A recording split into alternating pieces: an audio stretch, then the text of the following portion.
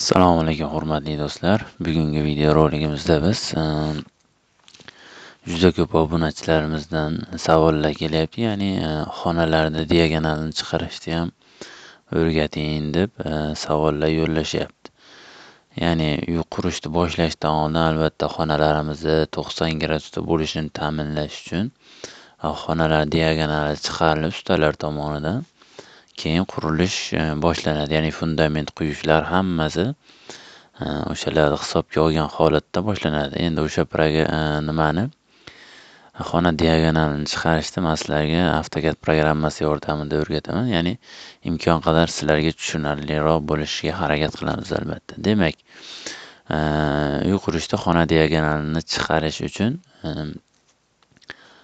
oddiy formula bor. Ya'ni o'sha formula yordamida biz chiqarishimiz mumkin bo'ladi. Ya'ni bizni formulamiz mana hozir ko'rsataman sizlarga. Bizda mana xuddi mana shu formula bor. Ya'ni a kvadrat plyus b kvadrat teng bo'ladi s kvadratga. Bu qanday holatda bo'ladi? Mana biz oddiy e, mana shu joyimizda hozir biz agar qurilish maydoni bo'ladigan bo'lsa yana bu programmamiz Э, chiziqni mana to'g'ri holatda olib ketadi ya'ni to'qson gradus bo'lsa to'qson gradus holatda olib ketadi. Mana ko'rib turibsizlar to'qson gradusda ko'rsatib ham turibdi. Э, demak biz mana uch to'rt metrlik э, bitta chiziq chizadigan bo'lsak mana bu tarafini uch metrlik chiziq chizamiz. Ya'niki bir tarafi to'rt metr ikkinchi tarafi uch metrli hozir chiziq bo'ldi. Xuddi shu holatda qilish uchun biz mana shu burchakni o'ziga bitta qoziq qoqib keyin e, mana shu tomonimiz bizda agar ko'cha bo'ladigan bo'lsa mana deylik bizda shu tomonimiz ko'cha bo'ladigan bo'lsa yo'l deb hisoblaydigan bo'lsa yo'ldan qanchadir masofa ichkariga solishni boshlasak biz mana shu burchakka bitta qoziq qoqib keyin yo'lga parallel holatda yana chiziq tortamiz. Oddiy mana shu chiziqni tortsa bu chizig'imizni uzunligini e, unchalik qizig'i yo'q. E, unchalik qiziq emas bu chizig'imiz qancha uzunlikda bo'lishini faqatgina bizga kerak bo'ladigan tomoni mm, mana ixtiyoriy ravishda bo'lgan taqdirda ham bizga mana shu to'rt metrlik qismi kerak bo'ladi. Ya'ni to'rt metr e, joyidan biz razmerimizni olib olishimiz mumkin bo'ladi. Hozir mana sizlarga qanday bo'lishini ko'rsataman. Mana bizda e, bir tarafi to'rt metrli bir tarafi e, uch metrli e, chiziq yordamida qiladigan bo'lsak mana mana to'rt ming millimetrda turibdi bu. Metrda olib o'lchansa ham chiqadi. To'rt metrga uch metrli holatda biz chiziq chizib olishimiz kerak bo'ladi. Xuddi shu holatda bo'lsa mana bu chizig'imiz liniyamiz boshidan oxirigacha ketgan. Faqatgina e, mana shu joyga biz to'rt metr joyiga e, belgi qo'yib olishimiz kerak bo'ladi. Bu tarafi ham ixtiyoriy ravishda ketishi mumkin chizig'imizni. Faqatgina biz e, shu to'rt metr uch metr joyiga pastki qismiga bitta belgi qilib olishimiz kerak bo'ladi. Mana biz bitta chizig'imizdan belgi qo'yib oldik. Ya'ni to'rt metrli joyga belgi qo'yib oladigan bo'lsak bu tarafda mana uch metrli joyga biz belgi qo'yib oldik. Endi xuddi shu formulaga olib qaraydigan bo'lsak biz ya'ni to'rt metrga uch metr joyimiz e, bo'lsa belgi qo'yilgan joyimiz bo'ladigan bo'lsa bizda mana shu joydan e, metrda olib ya'ni metrda olib mana shu yerga tortgan paytimizda e, xuddi mana shu chizig'imiz bizda besh metr bo'lishi kerak. Hozir sizlarga formulada ham qanday bo'lishini mana ko'rsatib o'taman. Mana biz chiziqni oladigan bo'lsak to'qson gradus to'qson gradus bo'lishi uchun mana razmerimiz xuddi shu holatda bo'ladi. Ya'ni mana shu e, belgilangan joylardan e, uch to'rt metrli tomonga belgilangan bo'lsa bu tarafda ham uch metrli tomonidan e, metrda ushlab tortsak metrimiz besh metr bo'lishi kerak bo'ladi.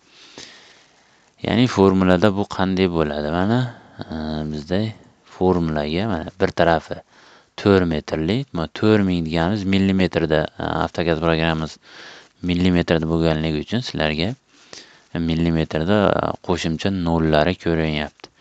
Ya'ni uch metr bu tarafi. Demak bizda to'rt metrli e, tomonimiz va uch metrli tomonimiz. Buni agar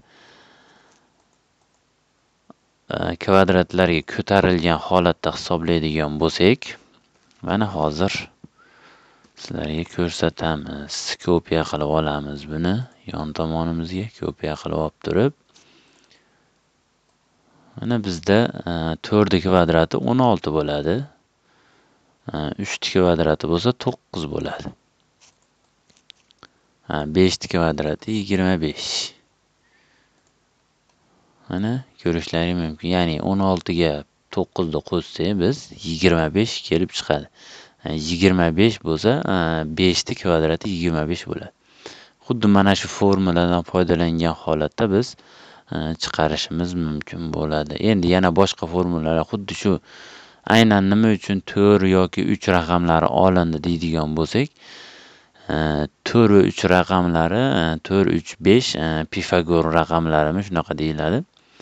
Ya'ni xuddi shu raqamlardan foydalanilganda bizda qoldiq qolmaydi qoldiq qolish qanaqa masalan biz yigirma beshdan keyin nuqta nechi nechiyam bo'lib ketib qolmaydi ana shuni hisobga olgan holatda o'n olti to'qqiz va yigirma besh sonlari kelib chiqadi ya'ni besh to'rt uch sonlaridan foydalanilyapti ya'ni agar boshqa sonlar bo'ladigan bo'lsa deylik to'rt yarim metr yoki uch yarim metr bo'lib qoladigan bo'lsa bizda xuddi mana shu sonni e, keltirib chiqarishimiz e, murakkablashadi. Ya'ni murakkablashish ham unchalik nima bo'lmaydi faqatgina e, ildizdan chiqarayotganda aniq sonlar chiqmay qoladi. O'shani hisobga olgan holatda biz to'rt uch va besh sonlaridan foydalanyapmiz. Yana boshqa sonlardan ham foydalanish mumkin. Ya'ni xuddi shunga o'xshagan Э, sonlarimiz bizda e, ko'p. O'shalarni ham foydalansak bo'ladi. Masalan bizda bor e, sakkiz bilan olti sonidan foydalanishimiz mumkin bo'ladi.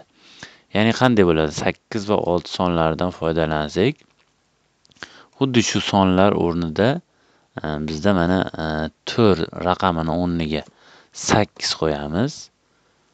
Ya'ni sakkiz metrli joyimiz bo'ladigan bo'lsa sakkiz olti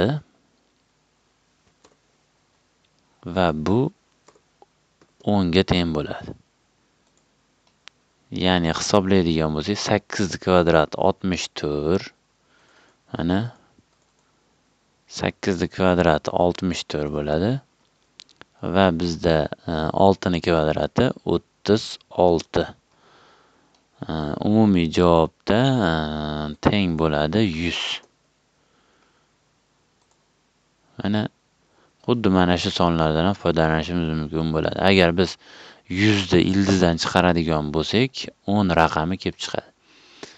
Agar xuddi shu holatda e, qiladigan bo'lsak ya'ni sakkiz olti va o'n sonlaridan foydalanmoqchi bo'lsak biz e, bizda kelib chiqadi. E, mana deylik bizda bu tarafini agar sakkiz metr deydigan bo'lsak bu tarafini 6 metr olishimiz mumkin bo'ladi. Va bu chizig'imiz bizda 10 metr kelib chiqadi. Ya'ni mana e, oddiy metrda mana o'lchashimiz mumkin. Ya'ni mana bu tarafi 8 metr bu tarafimiz bo'lsa bizda 6 metr. Umumiy uzunligimiz ya'ni diagonalimiz bizda o'n metrni tashkil qiladi ko'rishlari mumkin. Xuddi mana shu holatda olib kelib ikkita tarafga chiziq qo'yiladigan bo'lsa ya'ni o'rtadagi qoziq mana bitta qoziqqa qo'yiladigan bo'lsa chegaraga qo'shni bilan chegaraga bitta qoziqqa qo'yiladigan bo'lsa bu tarafga yo'lga to'g'rilangan holatda yana uzun chiziq tortiladi sakkiz metr va sakkiz metr o'lchab bu tarafga ham o'lcham qo'yilgandan keyin ikkita o'lchangan joyda qachonki o'sha bizga kerakli masofaga yetguncha qisqartirishimiz mumkin bo'ladi. Videorolikimiz albatta tushunarli bo'ldi deb o'ylayman. Hammalaringga rahmat. Sog' bo'linglar salomat bo'linglar. Keyingi videoroliklarda ko'rishguncha xayr. Kanalimizga obuna bo'lib e, layk bosishni albatta eslaringdan chiqmasligini so'rab qolgan bo'lardik. Hammalaringga rahmat.